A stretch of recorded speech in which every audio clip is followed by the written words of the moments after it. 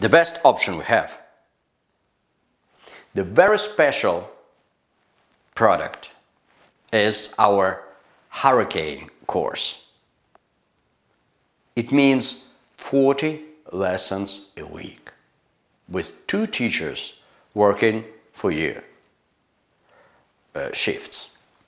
And it guarantees just unbelievable progress.